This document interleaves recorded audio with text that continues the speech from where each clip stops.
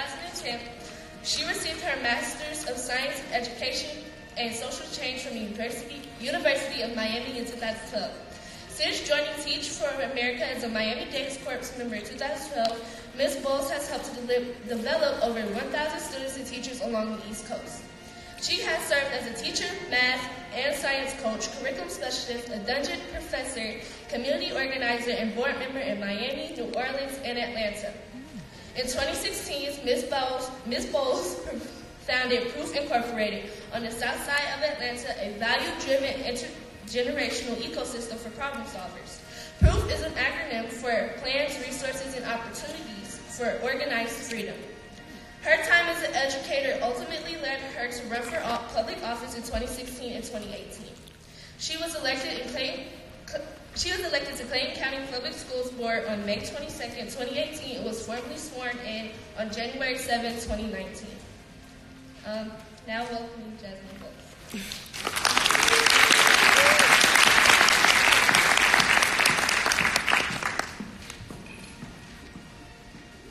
Good evening, Clayton County. Believe it or not, I'm nervous as well. Happy to be here.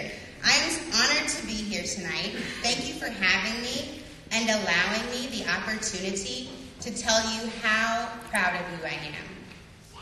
First, I'd like to acknowledge and give thanks to God. I'd also like to acknowledge and give thanks to the ancestors of the Creek, Cherokee, Muscogee, and Oconee tribes of Georgia, and all indigenous Africans who once occupied the sacred land on which we are gathered here tonight.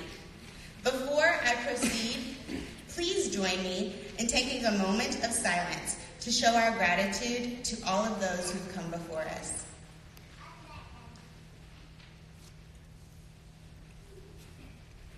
Thank you. If you are a student in the room, please stand.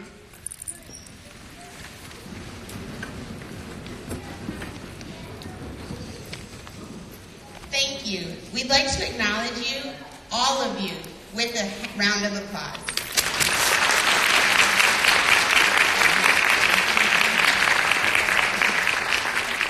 From this point forward, I'm talking to you. And as far as I'm concerned, the adults in the room are just in here eavesdropping on our conversation. Thank you for being incredible. Tonight, we celebrate social studies and history scholars who have explored people, places, and things. It is also Black History Month. Since part of the word history is story, let's have a little story time. I'll share my personal story, some of our collective story, and invite you to join me as we write the next part of that story together. My name is Jasmine Bowles, and as I look into the audience tonight, I see myself in each of you.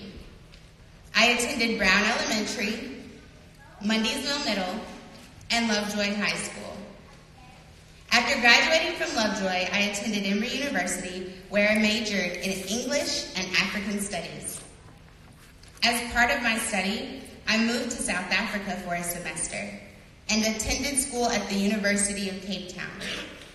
I was heading to law school after college, so I moved there to study apartheid and the political movement that abolished it only 15 years before I got there. For fun, I decided to study and volunteer in the townships as a sixth grade teacher.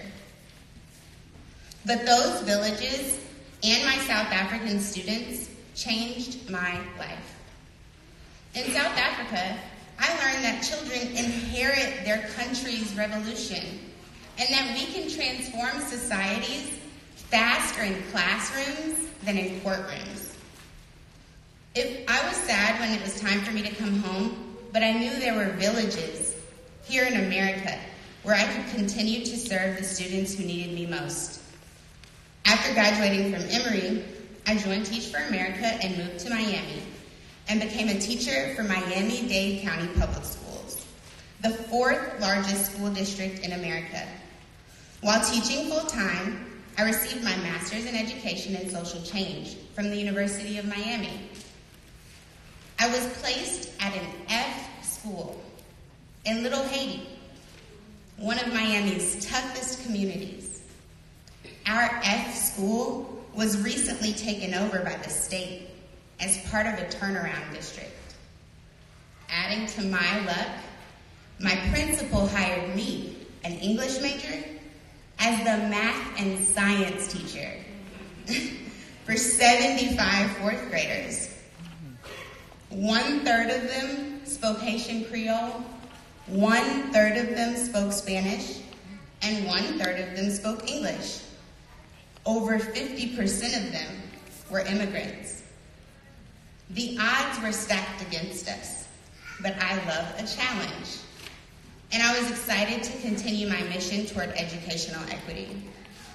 Anytime I heard someone doubt my babies in Little Haiti, it made me angry, and I wanted us to prove them wrong. Tonight, I'll tell you the same thing I told my fourth graders on the first day of school. You have haters, and your haters love to use data against you. According to your haters and their data, they don't think you'll graduate. They're not sure you can learn math, learn to read, write, and speak well. Some of them don't think your parents care. If that makes you mad, good. Let's change the data they use against us. Use their doubt as motivation. Your one and only job is to prove your haters wrong. Nothing's impossible, and you're proof. So I wrote proof on my board, and it stayed there all year. Thanks to our incredible village of teachers, leaders, and volunteers in Little Haiti, by the end of our time together, our scholars won statewide essay contests. They won the county math bowl. 100% of our scholars made gains on the annual state test. I heard they still use our accountable talk videos in county professional developments for teachers. In those two short years, we moved from an F school to a C school. And our scholars proved everybody wrong who thought they couldn't do it. Sometimes they even shocked me. Because of my students in South Africa and Miami, I know what's possible in classrooms everywhere. From there, I moved closer to family in New Orleans and became a teacher, instructional coach, curriculum specialist, professor, community organizer, and eventually a school board member. I left inspired by my students, colleagues, and community. When I returned home to Atlanta, I decided to run for office. The first time, I lost. But when I didn't come in last, last, I knew I was onto something. During that time, Proof became more than a mindset. I founded a community organization called Proof Incorporated, and we work to provide plans, resources, and opportunities for organized freedom. I didn't give up, and I ran two years later. Because of your parents and neighbors, I stand before you tonight as your newly elected school board member here at Clayton County Public Schools and the youngest person to ever hold this seat. I was sworn in just last month, and we made history together. I'm literally a human story of what can happen to little girls who grow up here in Clayton County. Together, our stories provide proof that data, stereotypes, and even histories can be disproved. Enough about me. Let's talk a little bit about us. I love Clayton County. There's a lot to be proud of here. But do we really know our collective history? The boundaries of Clayton County originate around 1818. We opened by acknowledging God and the ancestors because as hard as it is to believe, like most land in the South, this land was also stolen. About 20,000 indigenous people of Georgia forcibly migrated to the Indian Territory in Oklahoma between 1834 and 1836. The rest were eradicated. Thousands more fought and died during the Civil War. If you Google it, you'll learn we were named after Senator Augustine Smith Clayton. He was a politician from Virginia, but I wanted to learn a little more about Mr. Clayton because I know history belongs to those who write it. Here's what was a little harder to find. In 1837, he gave a speech in Athens for the Colonization Society, in which he said, The increase of free blacks is an evil to the state. The Colonization Society offered a remedy and afforded means by which liberty, with the consent of the master, may be conferred beneficially upon the slaves. So that's who the leaders who came before us named our county after. Let's consider other local history. There's another story about a little girl in Clayton County. Her grandfather owned slaves in Jonesboro, and, and her father fought for the Confederacy. When she was five years old in 1906, there was a four day race riot in Atlanta. Close your eyes and imagine what she witnessed. If we gave that little girl a pen, what kind of story do you think she'd write? Well, that little girl would grow up to become one of Clayton County's biggest stars. She's author Margaret Mitchell, and later she would write Gone with the Wind. Even though it was criticized for glorifying slavery, it remains the most successful film in box office history, winning 10 Academy Awards. Thanks to Gone with the Wind, Hattie McDaniel became the first African American person to ever win an Academy Award for Best Supporting Actress. Hattie McDaniel won that Academy Award for playing Mammy, a controversial role that perpetuated some stereotypes about black women in the media. The setting for Gone with the Wind is Clayton County. That's part of how we blew up. What's in it? Well, those who read the book will remember the cotton plantation was named Tara. That's still the name of our busiest highway here in Clayton County. Tara Boulevard. The main character's lover lived on another plantation, Twelve Oaks. That's the name the leaders who came before us chose for our county's largest stadium. Scarlett O'Hara is the main character. And I have many friends who grew up in neighborhoods with names like O'Hara Village or River's Edge Plantation I personally live near a road named after Jeff Davis. Every single day, many of us pass Confederate cemeteries in downtown Jonesboro, and that you can even tour two plantation homes here in Clayton County, Stately Oaks and Ashley Oaks. It's all preserved as history. So this was such a big deal at the time that Margaret Mitchell, author of Gone with the Wind, was inducted into the Georgia Women of Achievement and into the Georgia Writers Hall of Fame. This film is preserved in the National Film Registry and the Library of Congress. So history is fascinating, but it belongs to those who write it. That was her truth. Where are the other voices from Clayton County during that time? Due to their forced removal to this very day, there are no federally recognized indigenous tribes in Georgia. Unfortunately, we must assume that Clayton County's black and brown voices from the era aren't missing. They were erased. History belongs to those who write it. Now, now it's time to reclaim and retell our story. Now, Clayton County is home to the state's largest employer and the world's busiest airport. We have the fifth largest school district in Georgia, our own university. We're home to the Georgia Archives. We have a world renowned water authority. We hosted competitions for the Olympics. and are the most reliably liberal county in Georgia. Our elected leaders look like our residents, and we have an entirely Democratic legislative delegation in a red state. Almost nine out of our 10 residents voted for Obama, and we sent a we've sent a Democrat to the U.S. House of Representatives in each of the last five congressional elections. In 2018, 85% of us voted for the Democratic presidential candidate. So no county in Georgia votes blue like Clayton County. We actually agree with each other here. We are creating a community that you can be proud to inherit. What will you do with all that power?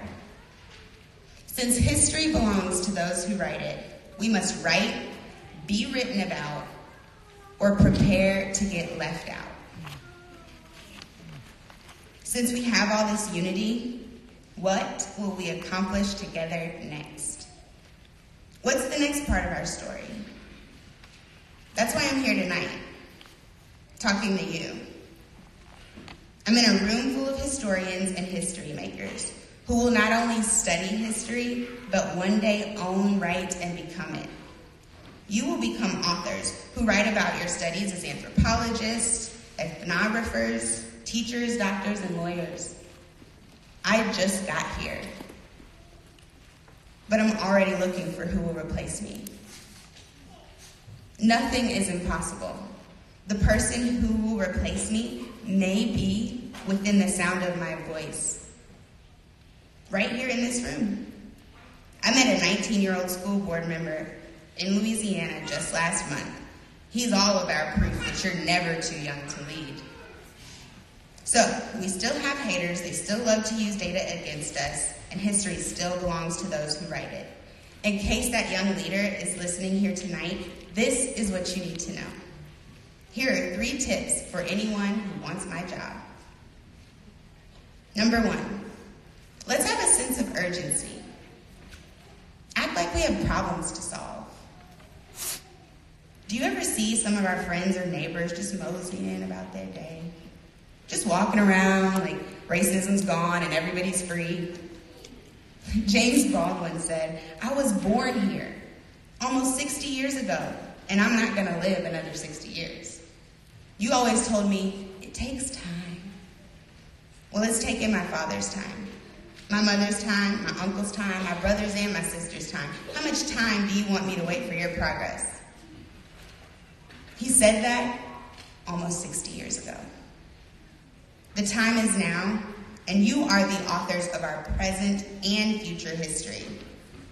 Act like justice is an emergency. Learn, read, and lead like we don't have a second to waste. Because we don't. Number two, let's use our youth while we have it.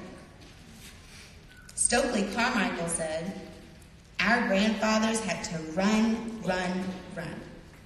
My generation is out of breath. We ain't running no more. Our elders ran so that we could fly. Don't run from your fears. Don't run from the truth. Don't run from your goals. Don't run from challenges. Don't run from high expectations. And don't run from love. We believe in you. Don't run, you stand firm. Stand firm in your identity. Stand firm in your truth. Stand firm in your beliefs. Stand firm in your values. The best time to fail or lose a competition, lose money, or lose a campaign is when you're young. There's a village around you to pick you up again. Take risks. Never be afraid to fail. And when in doubt, look at me and other young leaders in your community for evidence or proof. The only competitions you'll always lose are the ones you don't enter. Number three, let's look in the mirror when we're looking for answers. God does a lot of things, but God does not make mistakes. Most likely, you are the solution that you're looking for. You were put on this earth for a purpose with a mission from God that belongs to no one but you. No one can execute it except you. And if you don't complete your mission, no one will. But if you don't tell your story, someone else will do it for you. Don't let someone else write your story. History belongs to those who write it. Thank you for embodying leadership and scholarship through your social studies fairs projects. I love you and I'm proud of you. Let's continue to study and make history together. Thanks, y'all.